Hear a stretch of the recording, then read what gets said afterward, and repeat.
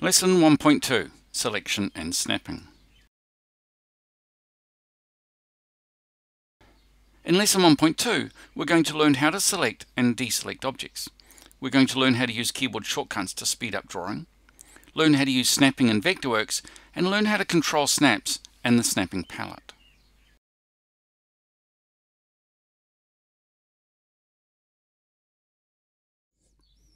In this lesson we want to learn about selecting, deselecting and snapping to objects. But before we can do that, we haven't got any objects. So the first thing we have to do is to create some objects. I'm going to use the rectangle tool to create some objects. This is the same thing that we did last time. We select the tool, we go to our toolbar and see which mode we want. So for example, that one. Click to start, click to finish, and don't forget over here on the object info palette, we can actually type in the size. Now I'd like you to use about two inches, 50 millimeters if using metric. So 50 millimeters by 50 millimeters. I'd also like you to practice using these dots here, the box position or the origin of your object. So we'll set that to zero and that one to zero as well. And you can see it moves our rectangle. Now let's start another rectangle. Let's find the center of the first one, click, and we'll come out here and we'll hit the tab key once, 50 millimeters across or 2 inches across and minus 2 inches down or minus 50 millimeters. If you don't put the minus sign in, if you just put in 50 millimeters, you can see it's going up. What we need to do is to make that come down. So minus 50, hit the tab key again, and you can see it comes down to here, and we enter once, enter again, and it finishes.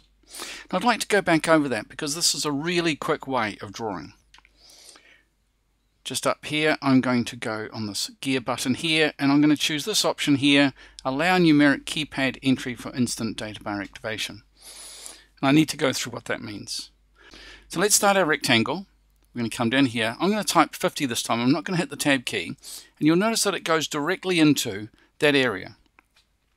Tab key once minus 50 again. Enter once. That's the enter key near your numeric keypad enter again, and it finishes.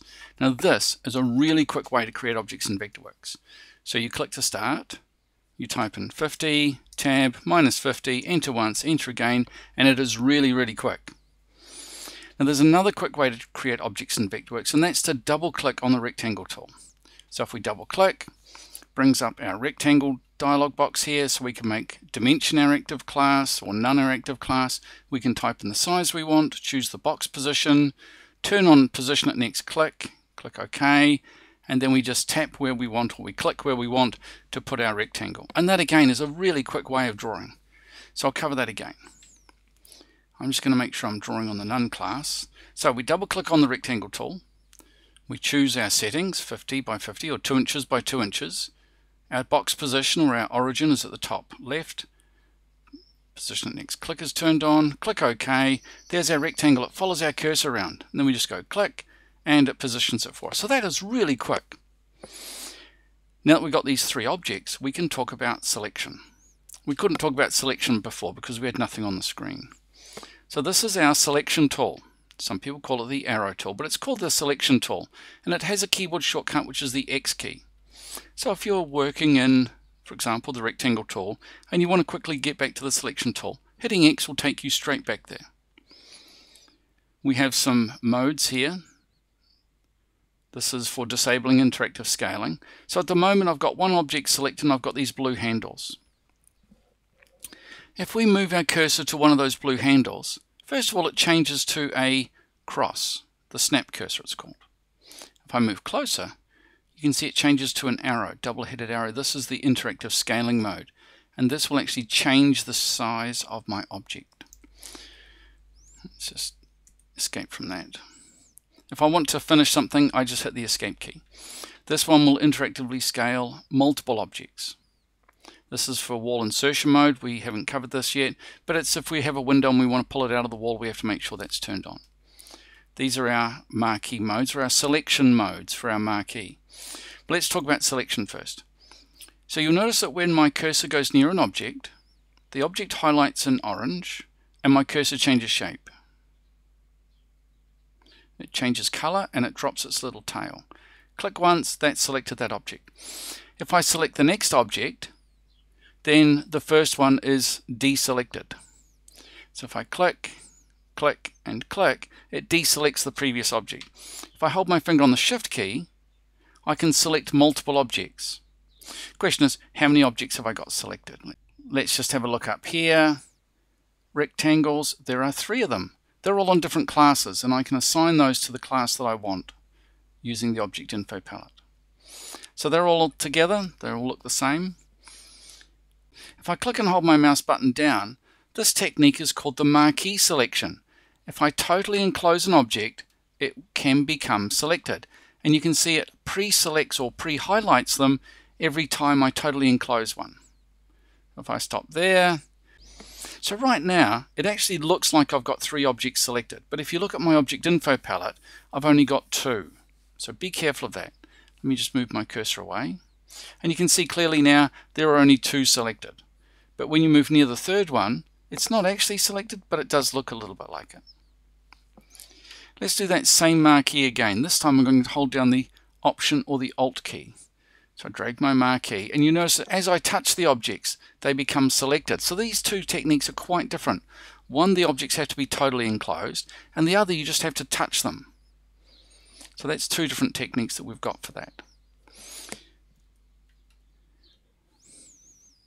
If we have a look at our tools here, you can see that the rectangle is hotkey number four, line tool is hotkey number two, and the selection tool is EX. So I do use these hotkeys. I don't use all of them. I don't use mirror, for example, as a hotkey.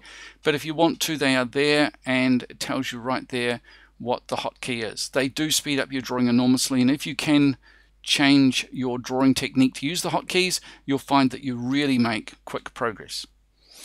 So let's have a look at our options for marquee again. This one here is the lasso method. So in this method, you actually draw your lasso around the objects you want to select and it selects those objects.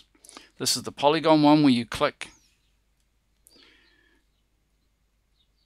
and you make sure that you totally enclose an object and then it selects it and it's double click to finish. I tend to use the first one. I find it the most easy, uh, but you're entitled to use whichever one you want.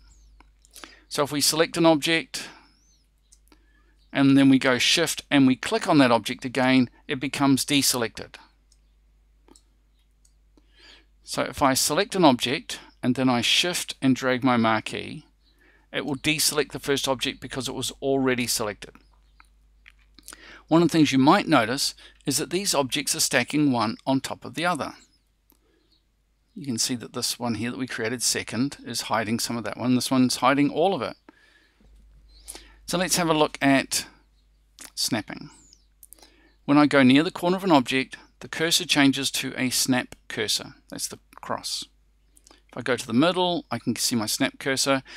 If I want to drag this object accurately, I need to use my snap cursor. So that snap, I can drag that, snap it onto the other object. It fits beautifully. I'm just going to undo that using my keyboard shortcut, which is undo, Control Z or Control Z. If I just drag that, it's very difficult to get those to snap together. If we zoom in and have a look, you can see they don't quite match, but if I use my snap cursor, Perfect. So let's just undo that and I'll put that back where it was.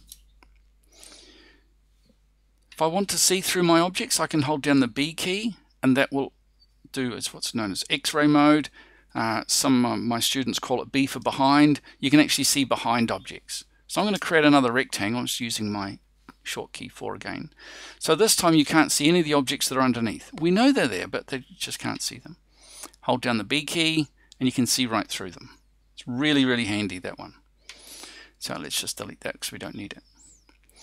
We're going to snap to other objects. So we're still looking at snapping and we're still looking at these blue handles. So we know that if we go near an object, we can activate it or we can select it. We also know that if we go to the corner or one of those blue handles, we can get the interactive scaling cursor. This does interactively scale the objects and it does change their size. If I select two objects, you'll notice I've lost my blue handles. I can't interactively scale them unless I choose this option here, and then I can interactively scale all of them.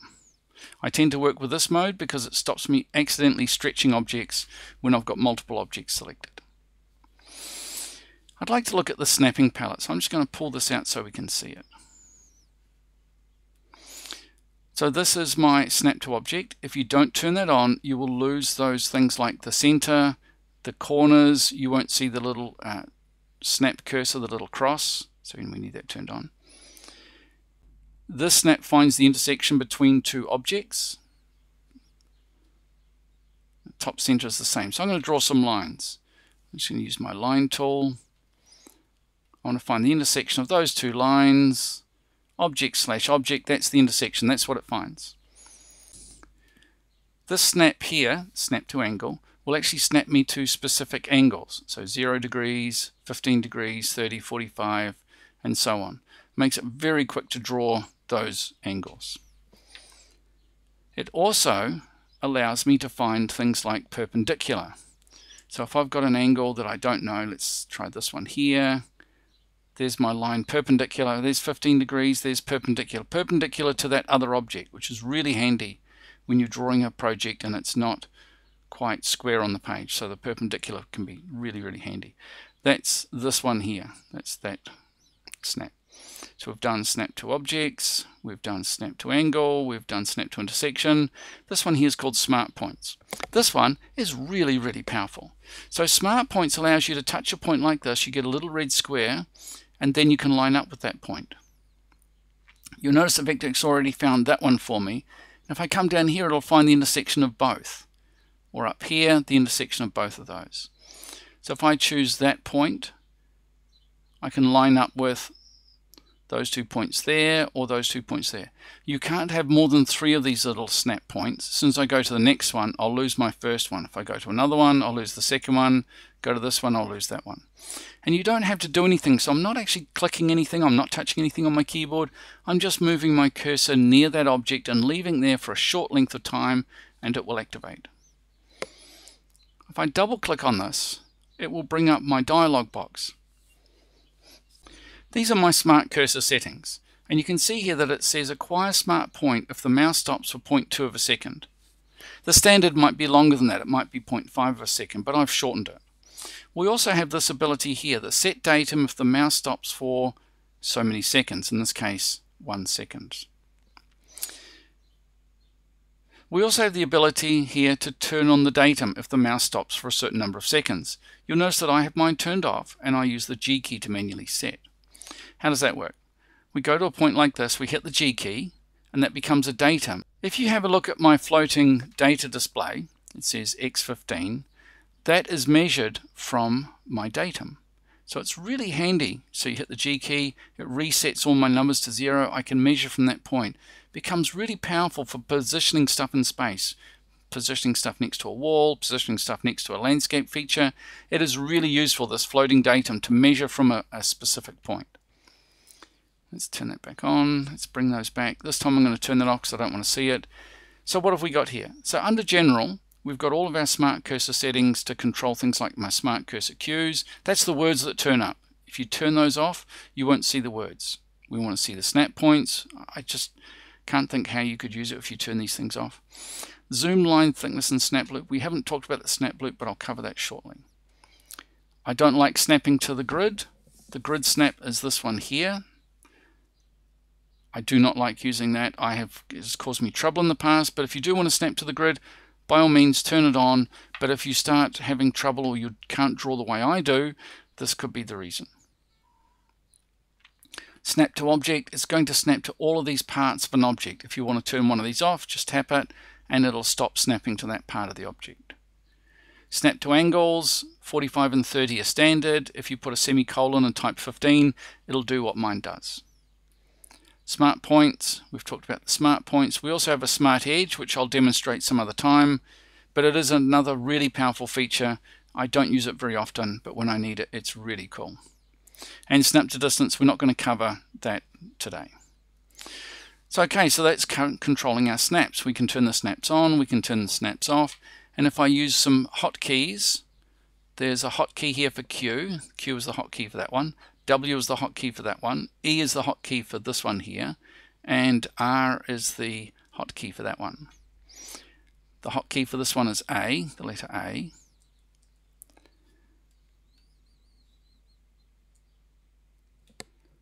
Let's just turn that off. This is the S is the hotkey for that one. D is the hotkey for this one. And F is the hotkey for Smart Edge.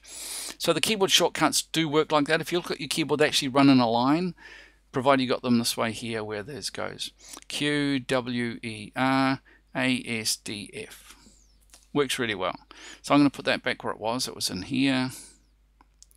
And I can shorten that make that a bit longer and I need a bit more room here for my tool so I'll just pull that down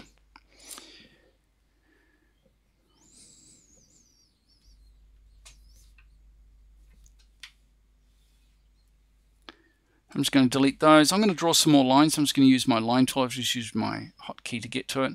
So I'm going to draw a line from here. I want to finish down to here. Click. I can start here. Click. I can touch this point here, line up click again, and I'm lined up with those objects. So it becomes very quick to make your drawings extremely accurate in Vectorworks.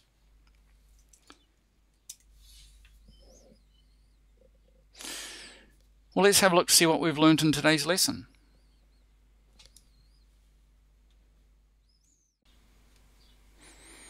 This is the end of lesson 1.2. In this lesson we learned how to select and deselect objects. We learned how to use keyboard shortcuts to speed up drawing, we learned how to use snapping in Vectorworks. We learned how to control snaps and the snapping palette.